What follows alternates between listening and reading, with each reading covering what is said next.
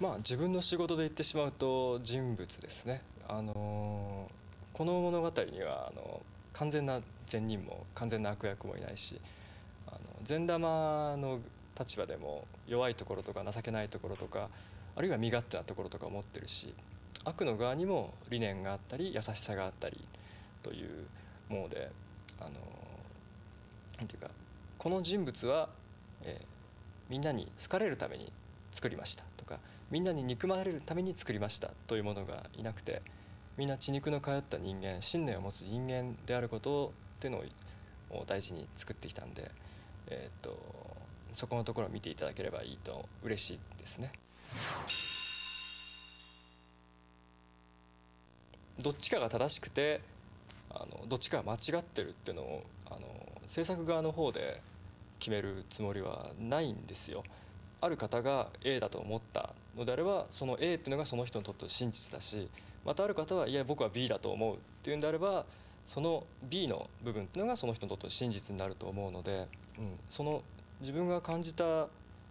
これが正しいんだって思うことが人と違ってもあのどっちが正しい間違ってるっていうふうにならないで、うん、その自分が信じたものををそのまま信じてもらえればいいなと思っています。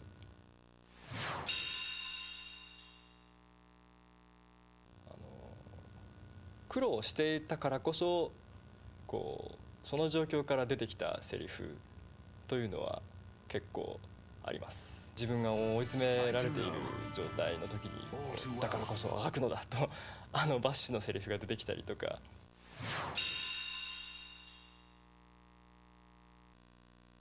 そこはもう本当に今回の仕事の肝とも言える部分でしてまああの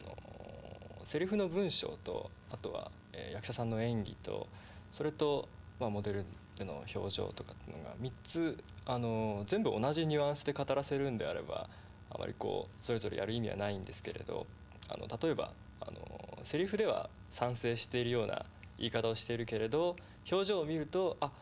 彼は実は反対なんだみたいな感じのことが分かるような感じで、えーとそうですねまあ、一つのセリフ表情とかからいろんな意味が読み取れるようには、えー、作っています。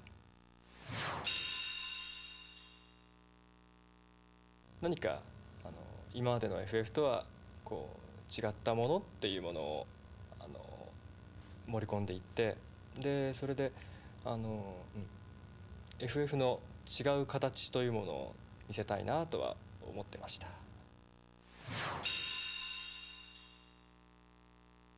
物事の定義を広げていくものだと思っていますあの例えば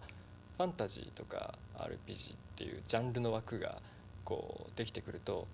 あのそれとちょっと外れた作品が出てくるといやこれはファンタジーではないとかこれは SF ではないこれは RPG ではないっていう感じでこう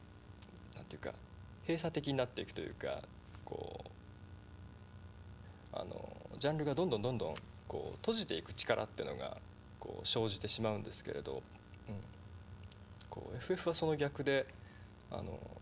みんなが考えてるファンタジーっていうものはこういうものかもしれないけれどでこれはちょっと違うけれどでもこれもファンタジーとしてこうていうかみんなが認めてくれたらファンタジーというものがこうもっと広がるんじゃないか豊かになるんじゃないかなという感じで常にこのあの、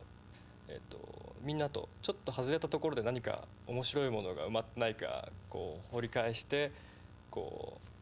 うあの発掘できたらそれをみんなにまた見せてということを、えー、やるタイトルだと思っています。